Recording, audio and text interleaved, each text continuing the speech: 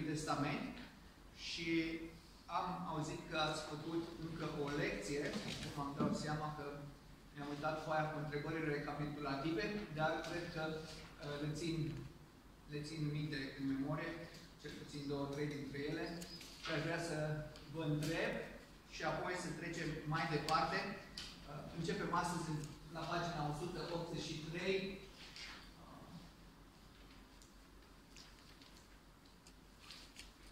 Da, despre profetul Elisei am învățat în ultimele lecții și începem astăzi la punctul 3 roman, dar haideți să vă pun câteva întrebări uh, recapitulative. Cine a fost ucenicul lui Ilie? Elisei, da? Profetul despre care noi am învățat. Hai să vedem cine și amintește cum am spus eu că îmi place să-l numesc pe Elisei. Am spus, îmi place să-l numesc profetul ce pot să fac pentru tine. Aceasta a fost și ultima lecție pe care am avut-o când am fost eu aici din viața lui Elisei. Da? Profetul ce pot să fac pentru tine. Hai să vedem acum dacă cineva poate să-mi spună și amintește două sau trei lucrări, ca fiecare câte una, pe care Dumnezeu le-a făcut prin acest profet, Elisei. Dacă vă amintiți vreo lucrare pe care Dumnezeu a făcut-o prin el. Vindecarea lui Naman. Foarte bine. O ilustrație foarte, foarte potrivită pentru mântuire. Da? Altă, altcineva, altă lucrare de a lui Elisei? Securea care iasă la suprafață. Fierul de secure care iasă la suprafață, da? Altcineva? Înmulțirea undelemnului. Aceea a fost lecția cu ce pot să fac pentru tine. Da? Înmulțirea undelemnului prin credință. Este una despre care cred că ați învățat cu Petrișor, în câte mi s-a spus, și n-a spus nimeni. Este... Cum? Moartea anuală. Nu, nu, asta am amintit eu despre ea. Îmi place foarte mult și este un verset acolo, o expresie care ne ajută foarte mult în viața noastră de credință. Hai să vedem. Nu? Învierea Fiului este o mare lucrare, dar nu la asta mă gândeam. Împresurarea Samariei, da? Și împresurarea casei lui Elisei. Da? Amintiți, Elisei avea un slujitor. Și vin acei uh, asirieni, dacă nu greșesc, dușmani, și împresoară casa. Și când slujitorul său vede dimineața care este situația, zice, vai de noi, suntem pierduți. Și de multe ori ne trezim într-o zi și ne uităm în lumea aceasta, vedem ce se întâmplă la știri, ne uităm în jurul nostru, ne uităm în grădină, poate ne-o trăznit casa, poate vedem că totul este dărâmat, poate vedem lucruri care ne lasă cu gura căscată sau fără nicio speranță din ceea ce vedem noi, cu ochii ăștia fizici. Și tot așa a fost slujitorul lui Elisei. Și ce a spus Elisei? Cum s-a rugat? Doamne, deschide ochii să vadă că mai mulți sunt cei care sunt cu noi decât cei care sunt împotriva noastră. Întotdeauna trebuie să ținem cont că ceea ce ne promite Dumnezeu și ceea ce ne învață Dumnezeu nu se poate atinge cu mâna și nu se vede cu ochii aceștia. Ce vedem noi cu ochii aceștia și atingem cu mâna sunt lucrurile trecătoare ale lumii acesteia, care de multe ori sunt folosite de Satan ca să ne ducă în eroare, să ne înșele.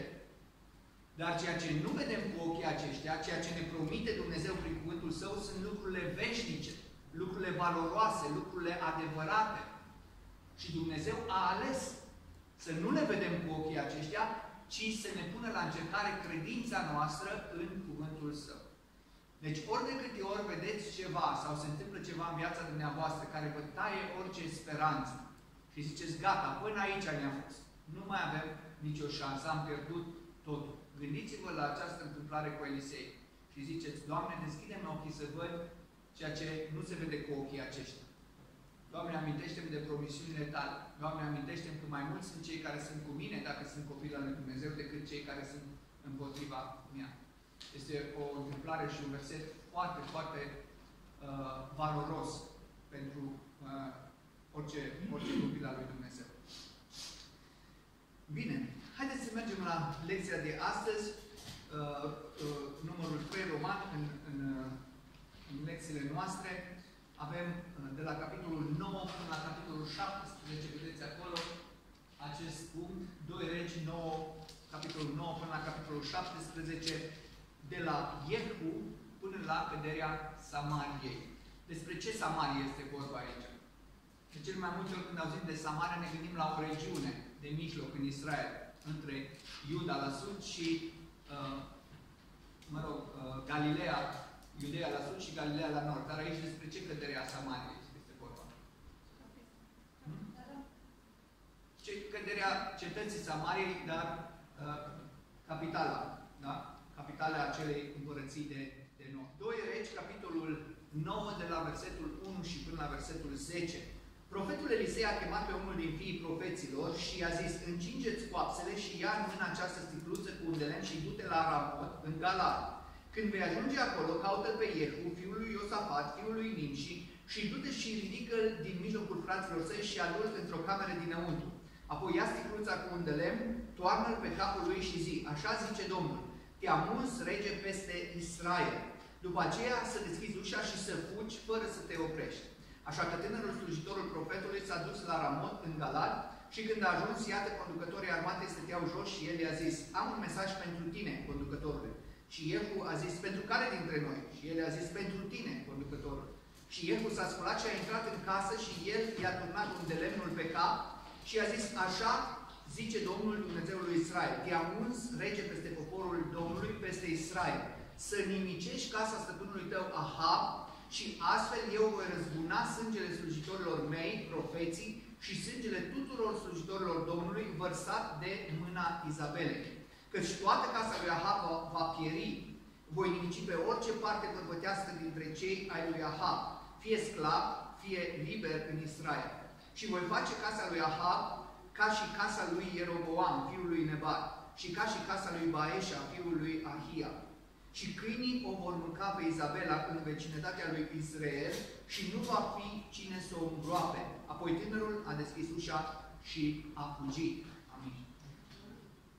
Uh, domnia lui Iehu. Vedem în capitolele 9 și 10 că Elisei trimite pe unul din ucenicii săi. Și la porunca lui Dumnezeu îl unge pe acest Iehu ca împărat.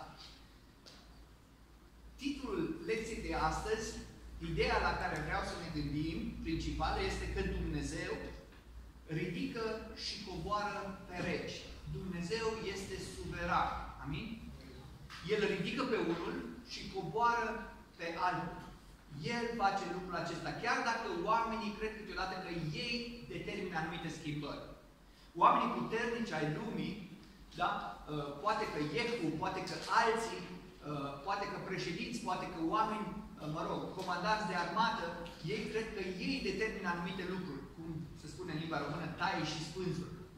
Dar vreau să înțelegem că Dumnezeu este în spatele tuturor acestor decizii, nu neapărat că Dumnezeu le ia, le hotărăște, fiindcă sunt multe decizii rele, dar Dumnezeu le îngăduie. Nimeni nu poate să facă nimic fără ca Dumnezeu să îngăduie. Dumnezeu îl folosește pe Iehu la distrugerea uh, a trei personaje principale din Israel, din Împărăția de Nord. Ioram, Ahazia și Izabela. Vă amintiți care a fost cel mai rău rege din Împărăția de Nord? Ahab a fost cel mai rău rege.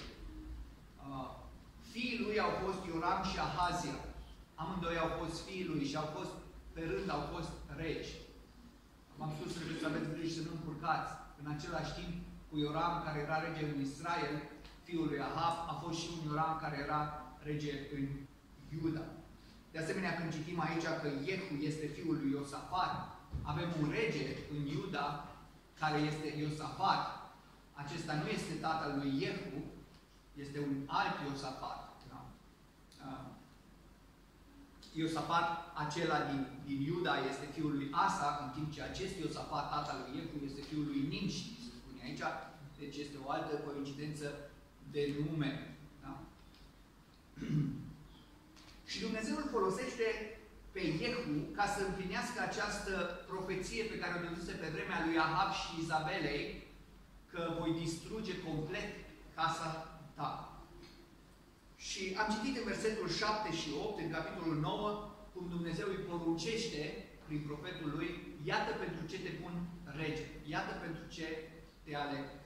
Am văzut asta de mai multe ori uh, în creștini. Dumnezeu îl promovează pe creștini, uh, termină tânărul un colegiu biblic, este ordinat ca și păstor, este trimis ca misionar, primește o slujbă în biserică și simte că Dumnezeu îl folosește mai mult. Și atunci creștinul crede, păi sigur că pe mine Dumnezeu, că eu știu. Și nu înțelege creștinul că a ajuns acolo pentru că trebuie să mai învețe mult mai multe. Crede că a ajuns acolo pentru că le știe deja pe toate. Și începe să facă totul după capul lui. Și cam așa se întâmplă și în uh, situațiile acestea. Dumnezeu îl duce pe Iehu acolo nu pentru că el merită sau că era mai bun. Dumnezeu folosește uneori oameni buni, Dumnezeu folosește alteori oameni răi ca să împlinească scopurile sale. Dumnezeu spune că a folosit pe asiriani, care erau un popor păgân, care nu se închinau la Dumnezeu, l-a folosit ca să împlinească planurile sale. Dumnezeu a folosit babilonienii ca să împlinească planurile sale. Dumnezeu a folosit ninivenii ca să împlinească planurile sale.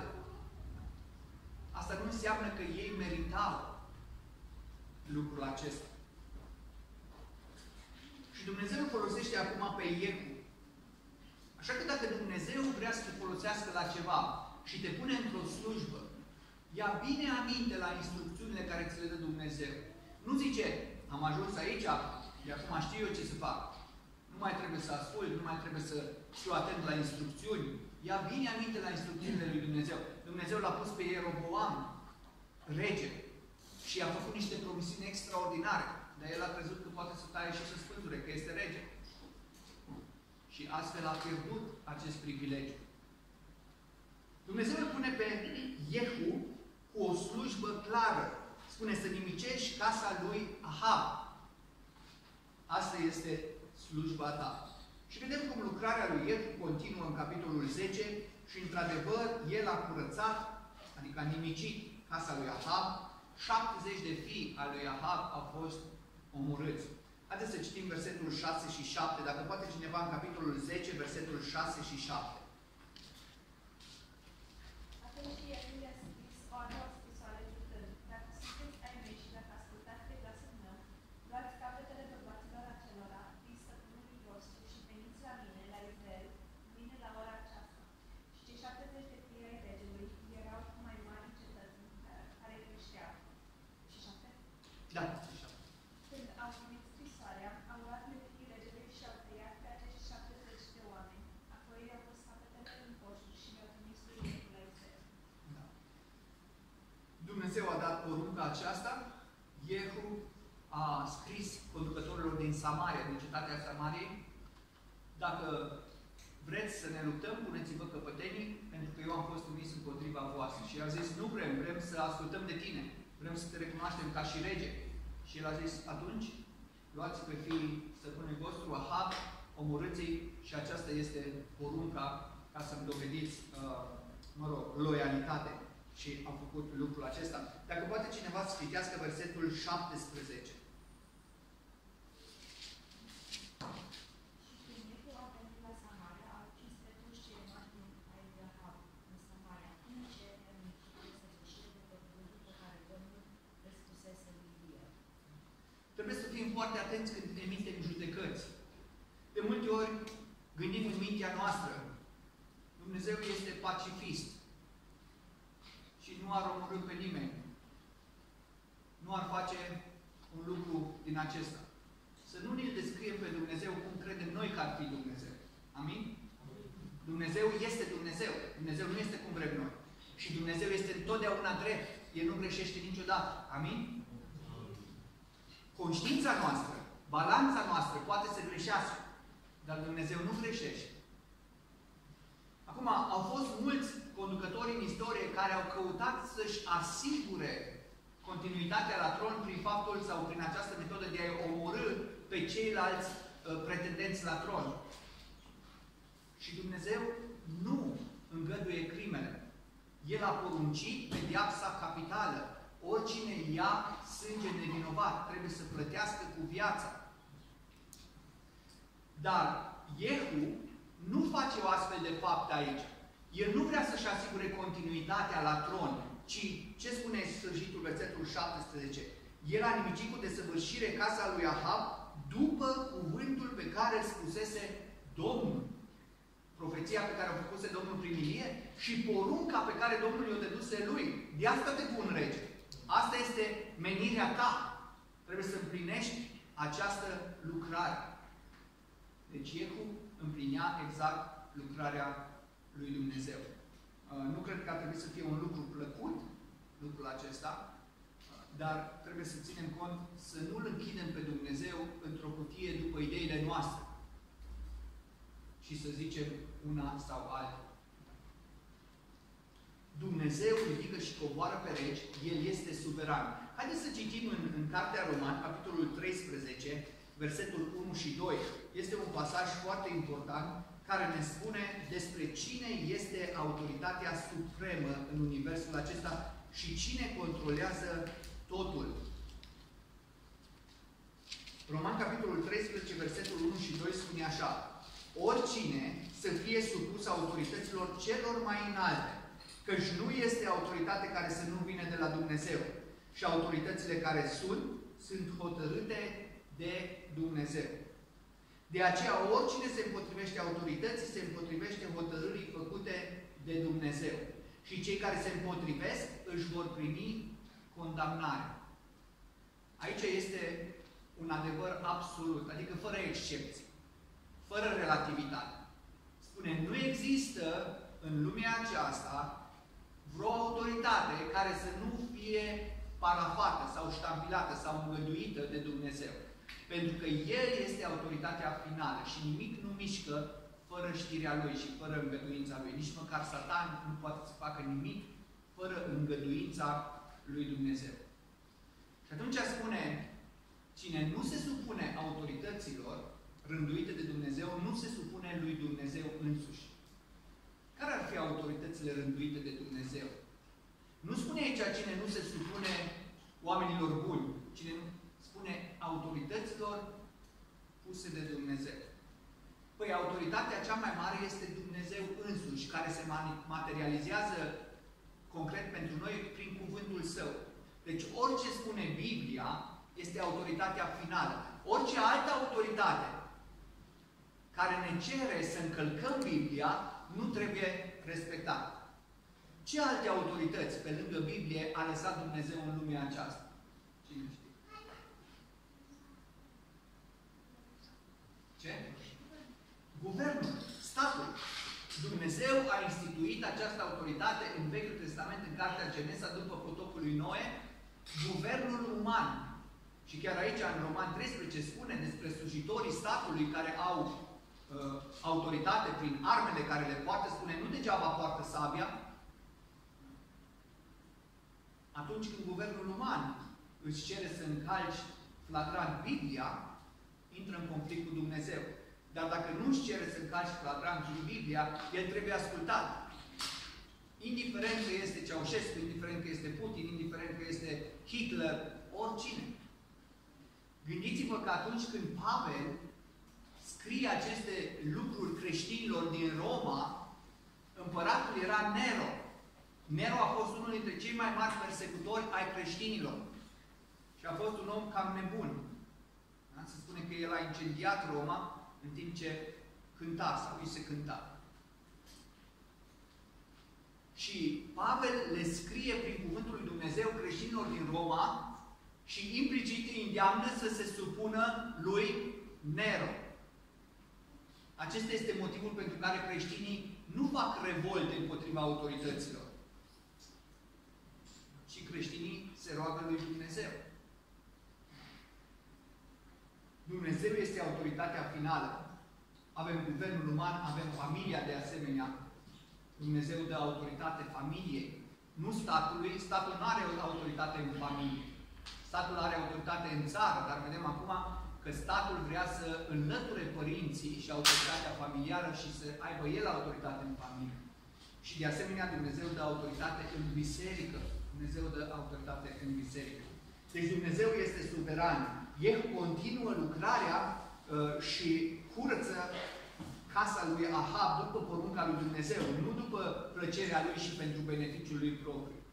Apoi, el îi nimicește pe preoții lui Bal și pe închinătorii lui Bal. Dacă poate cineva ne întoarcem în, în Vechiul Testament, în, în 2 Regi, capitolul 10, dacă poate cineva să citească versetul uh, 18 și 19. Și Iehu a strâns tot poporul și le-a zis, și le-a zis, Ahab a slujit puțin lui Baal, Iehu însă va sluji mai mult. Și 19. Și acum chemați pe toți profeții lui Baal, pe toți slujitorii lui și pe toți preoții lui, să nu lipsească nimeni, pentru că vreau să aduc o mare jertfă lui Baal. Oricine va lipsi va muri. Dar Iehu făcea aceasta cu viclenie, ca să poată nimici pe toți închinătorii lui Baal. Da. Făcea aceasta cu viclenie pentru că vrea să îi nimicească pe toți închinătorii lui Baal. Acesta a fost motivul pentru care în ploaia aceasta a fost motivul pentru care Ahab a fost unul dintre cei mai răi, cel mai rău rege din Israel și închinarea lui Baal a fost datorită soției lui Izabela, care uh, era fata regelui Sidonului, cei care se închinau acestui zeu străin. În versetul 23-24, Iehu și Ionadab, fiul lui Recab, au intrat în casa lui Baal și au zis închinătorilor lui Baal, Căutați să vedeți să nu fie aici cu voi niciun slujitor al Domnului, ci numai închinătorii lui Baal. Vreau să se asigure că nu omoare cu greșeală pe un slujitor al Domnului. Și au intrat să aducă jertfe și arde de tot. Iehu însă pusese afară 80 de oameni și le zisese, dacă va scăpa un om din oamenii pe care i-am dat în mâinile voastre, cel ce îl va lăsa să scape va răspunde cu viața sa pentru viața aceluia. Și Iehu a domnit 28 de ani. Dacă poate cineva să citească versetul 28 și 29. Astfel Iehu a nimicit pe Baal din Israel. Totuși Iehu nu s-a abătut de la păcatele lui Ieroboam, fiul lui Nebat, care fusese, făcuse pe Israel să păcătuiască, adică de la viței de aur din Betel și din Dan. A făcut treaba pe care i-a dat-o Domnul, dar nu s-a abătut de la acei viței de aur pe care Ieroboam îi introdusese uh, în, în Israel. De asemenea, în versetul 30-31, uh, Domnul i-a zis, pentru că ai dus bine la îndeplinire ce este drept în ochii mei și ai făcut casele lui Israel ce ți-am zis, fii tăi până la patra generație vor sta pe tronul lui Israel. Din nou vedem suveranitatea lui Dumnezeu. Vedem cine asigură viitorul. Oamenii zic astăzi, trebuie să mă chinui să las ceva copiilor mei. Uitați-vă aici cine poate să asigure viitorul copiilor tăi. Amin? Asta nu înseamnă că noi trebuie să fim risipenici și să nu fim organizați. Dar haideți să nu ne punem încrederea pe ce vedem noi și ce atingem cu mâna. Pentru că Dumnezeu poate să spulbere într-o clipă și copiii tăi să rămână fără nimic. Dar dacă tu spui încrederea Domnului, uitați ce zice uh, Dumnezeul lui Iehu. Copiii tăi până la patra generație vor beneficia și vor fi binecuvântați pentru că tu ai ascultat de mine. Deci, cum putem să fim o binecuvântare pentru copiii noștri? Să ascultăm de Domnul. Și chiar dacă nu le lăsăm nicio moștenire, dacă Domnul nu îngăduie asta, dacă știm că am ascultat de Domnul, Domnul va purta de grijă copiilor noștri. Amin? E cea mai sigură. Oamenii își fac asigurare la casă, își fac asigurare la viață, își fac asigurare la mașină. Ce asigurare mai mare este decât să asculți de Domnul? Amin? Ce asigurare mai mare este decât promisiunile cuvântului lui Dumnezeu? Este cea mai mare asigurare pe care poți să o faci pentru tine, pentru soția ta, pentru casa ta, pentru copiii tăi și pentru cei din jurul tău. Să asculți de Domnul și sigur vei aduce binecuvântare peste cei din, din jurul tău. Și versetul 36, ultimul verset din capitolul 10, dacă poate să citească cineva.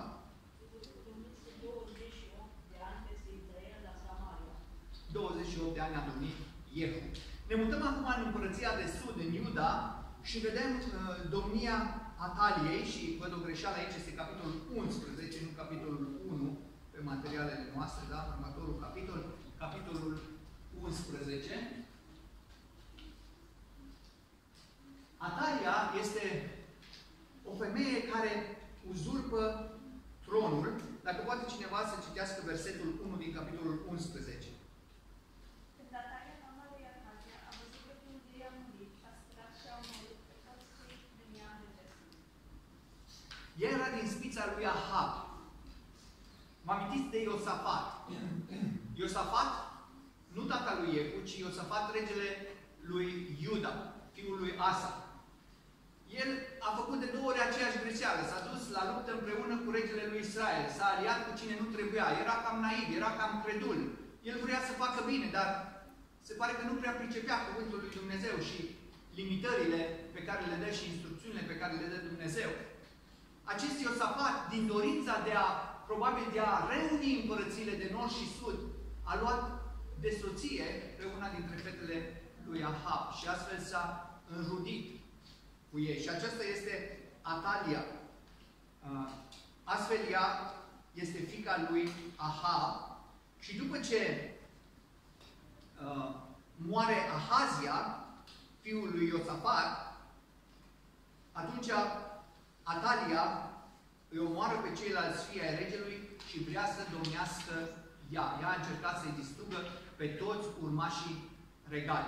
Însă, una din surorile lui Ahazia, probabil nu era fica lui Atalia, în vremea aceea, uh, regii, mai ales, aveau mai multe soții pentru că vreau să-și asigure cât mai mulți uh, urmași, dar nu numai regii, un lucru care nu a fost îngăduit de Dumnezeu, nu a fost după voia lui Dumnezeu, a fost un păcat al lor. Așa că sora lui Ahazia, dar probabil numai după tatăl, nu și după mama, adică nu era și fica lui Atalia, uh, Ioșeba l-a furat pe Ioas, un alt fiu al lui uh, Ahazia, care iarăși probabil nu era și fiul lui Atalia, era cu o altă soție, era cel mai mic dintre fiii uh, regelui, avea probabil un an de zile sau câteva luni, și l-a ascuns de mânia Ataliei ca să nu fie omorât. Dacă poate cineva să citească versetul 2.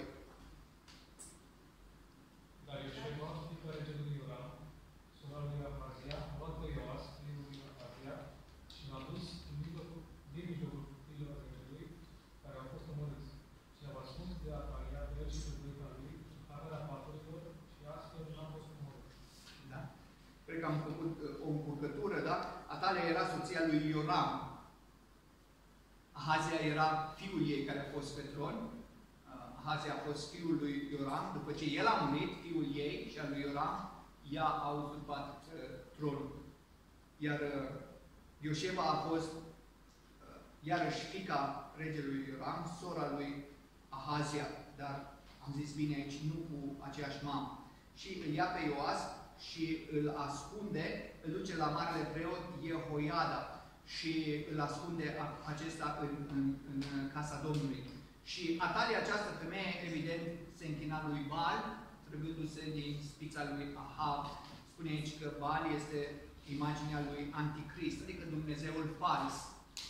Versetul 3, el a stat ascuns cu, cu ea șase ani în casa Domnului și în țară domnea Atalia.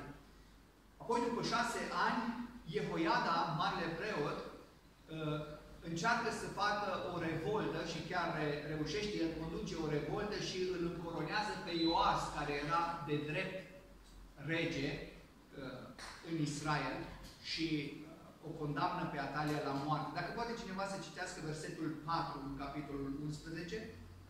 În anul așa, treia Iohadia, a trimis și a luat pe conducătorii peste 100 și al chercheriților și al lucrătorilor și i-a dus la el în casa Domnului. A făcut legământ cu ei și a pus să jure în casa Domnului și le-a arătat pe fiul regelui. Până atunci nimeni nu știa că a rămas vreun fiu al regelui în viață. Era un secret între Ioșeba și uh, uh, Jehoiada. Dar atunci acesta a strâns pe conducători și le-a arătat, iată, avem un rege care are dreptul să stea pe, pe tron. Haideți să o dăm jos pe această femeie și uh, el o condamnă la moarte. În versetul 12, preotul a adus pe fiul regelui, i-a pus coroana regească și i-a dat mărturia, adică legea, cărțile legii. Ei l-au făcut rege și l-au uns, bătând din palme și au zis, trăiască regele. Dacă poate cineva să citească versetul 15. Împăratul Iulia a cunoscut cetățenilor pe soldați, care erau puse peste armată și le-a zis, scoateți-o afară din rând, rânduri și ucideți cu sabia pe oricine va merge după ea. Deci preotul zisese, să nu fie omorât în casa Domnului. Se vorba despre Atalia. Și astfel a omorât-o pe Atalia. Nimeni n-a mers după ea, dar uh, ea a fost omorâtă și Jehoiada, acest preot, a condus apoi pe popor la trezire spirituală. Nu doar că l-a ajutat pe Ioas să ajungă rege, cel care uh, trebuia să fie rege, nu doar că a condamnat-o pe Atalia, această femeie care a uzurpat spița sau linia regală, dacă vă amintiți, în uh, împărăția de sud, în Iuda, a fost o singură dinastie la tron, da, sămânța lui David, cu această excepție, Atalia, care a uzurpat pentru șapte ani uh, tronul. Dar el apoi a condus pe popor într-o trezire spirituală, pentru că uh, regele Ioas avea șapte ani când a fost încoronat.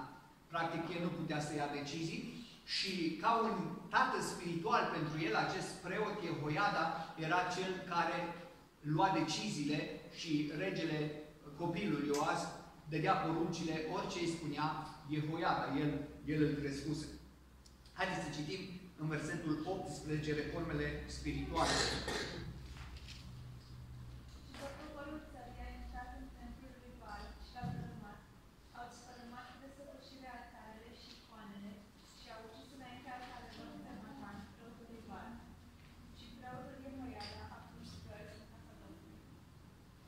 El a învățat poporul să-l pună pe Ioas împărat și Ioas avea șapte ani.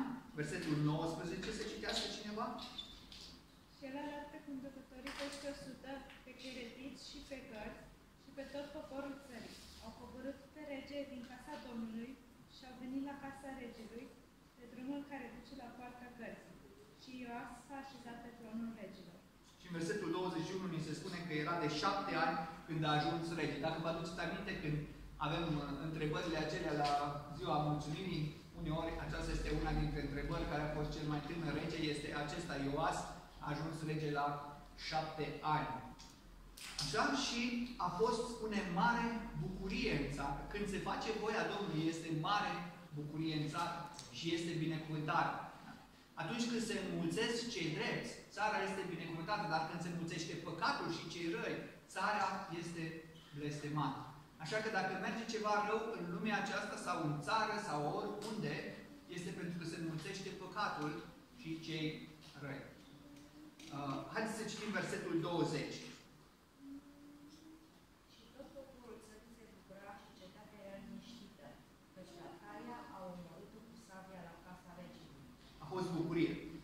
Și ultimul punct este regele Ioas, în lecția noastră de astăzi, regele lui Iuda, în capitolul 12. Practic, viața lui Ioas este descrisă mai mult și în Cartea 2 Cronici, dar viața lui Ioas este foarte interesantă. Cel mai tânăr rege și o puteți împărți în două. O mare parte din viața lui când ascultă de sfaturile lui Jehoiada, cel care l-a crescut. Și atunci face numai ce este bine. Și Domnul îl binecuvântează.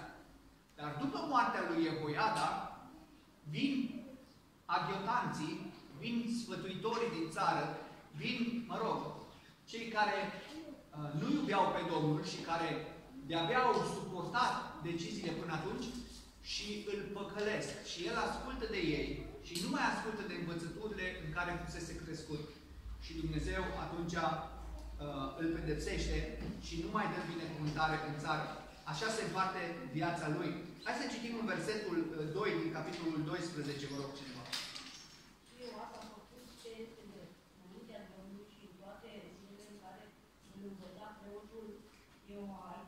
Și Ioas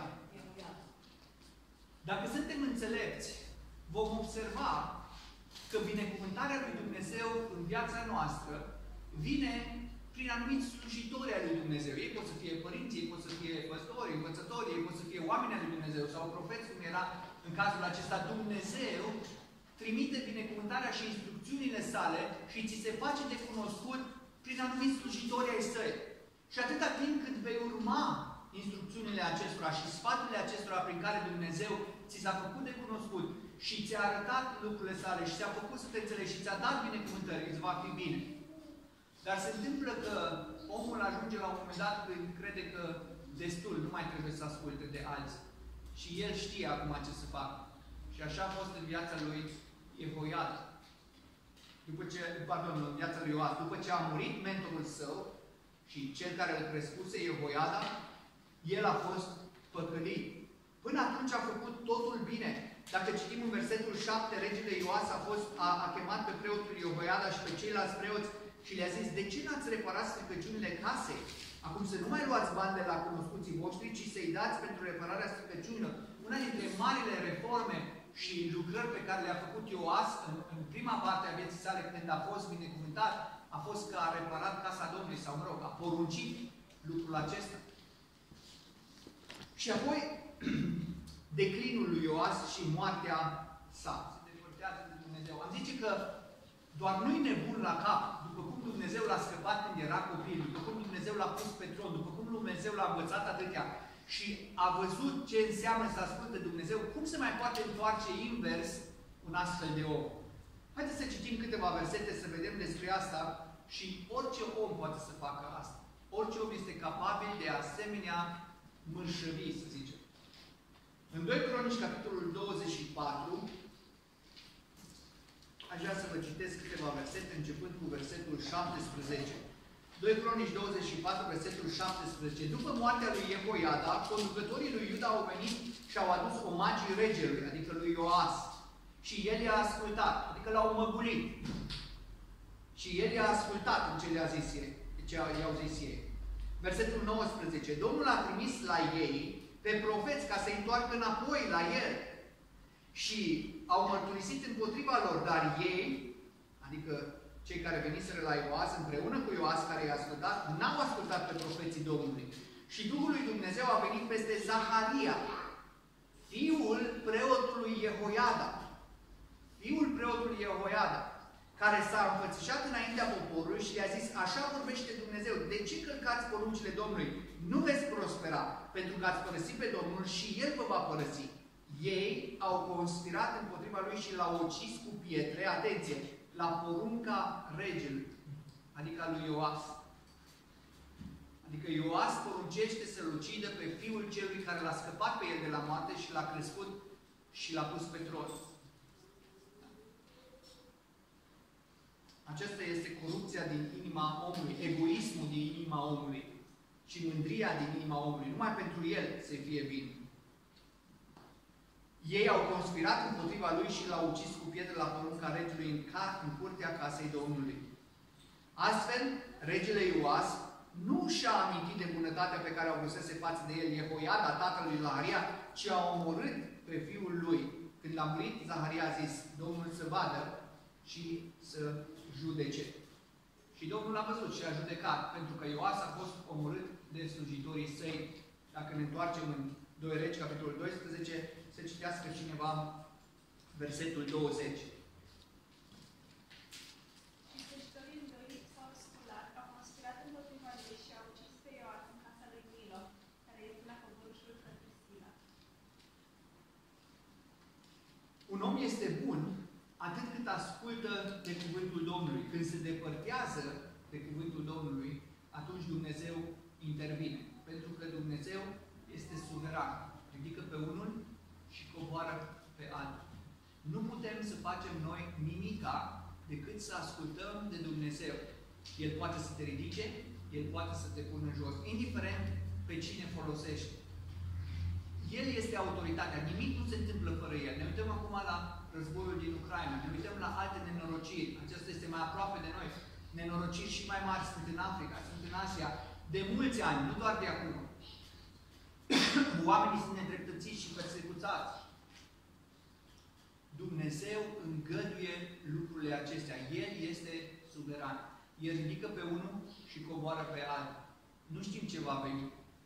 Dar ceea ce știm noi și ceea ce putem face este să lucrăm la relația noastră cu Dumnezeu. Dacă noi suntem aproape de Dumnezeu, Dumnezeu nu doar că va binecuvânta viața noastră, dar noi vom fi o binecuvântare pentru cei din jurul nostru. Altfel, nu poți să fii sigur de nimic în lumea aceasta și Dumnezeu să ne ajute să fim aproape de El.